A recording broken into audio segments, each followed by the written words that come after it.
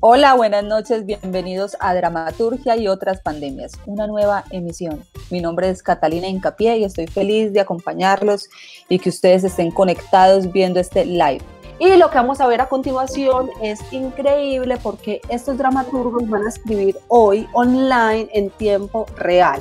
Y a los que no nos han visto, dramaturgia y otras pandemias, es un encuentro de dramaturgos que escriben en caliente, una pieza teatral, con la ayuda de ustedes. Es un juego, un juego entre espectadores y dramaturgos. La primera premisa la van a escuchar, pero luego ustedes se desconectan para que no se enloquezcan nosotros hablando y ustedes escribiendo, que me imagino no les, no les va a ayudar en nada. Y el público nos va a ayudar, los espectadores nos van a ayudar a darnos esas premisas. Don Fernando, usted me ayuda a escoger. Y caen gotas sobre mi cuerpo.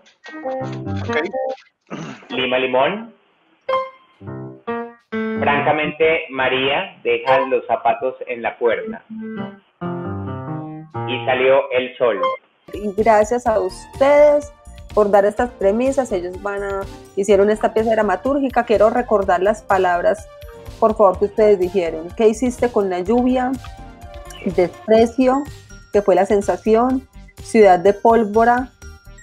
Eh, aquí las está poniendo David, una maleta llena de dinero que se encontraron, un tanque de oxígeno. Antonia se queda mirando fijamente a Mauricio, le escupe en la cara. Mauricio se limpia con los dedos y luego se los mete a la boca. Antonia ve la acción y experimenta arcadas. Dentro de poquito deben llegar los perros, el plato frío, la piñata, los otros invitados.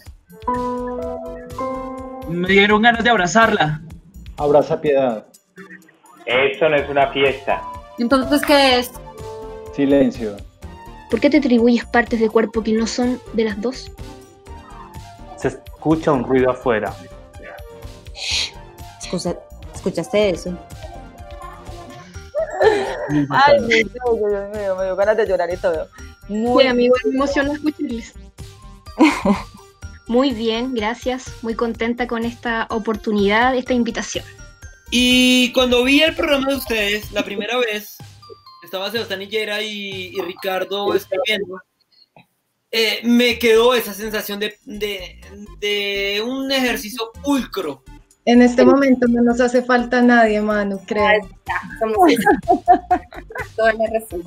Como bueno, ¿cómo voy a poner a conjugar estas premisas? Sentí como ese, ese espacio de, de vacío un poco en, algunos momentos, pero igual no deja de ser emocionante eh, retar a esto, a tener este poco tiempo y a, jugar con ellos.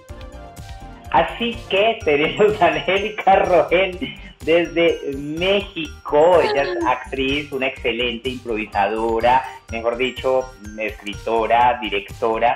Buenas noches, Angélica. Buenas noches. Pusiste las partes más incorrectas de Balabuena. Usted esmeraste. ¿Por qué?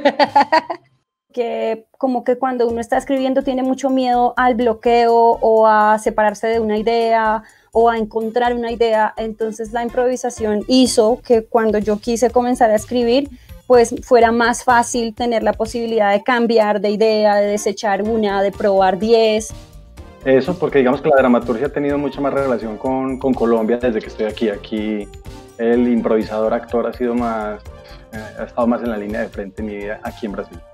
Eh, me parece maravilloso realmente poder encontrarnos estando en esta actualidad de la pandemia, estando desde casa y encontrarnos de esta manera virtual a seguir creando y a seguir en nuestra búsqueda.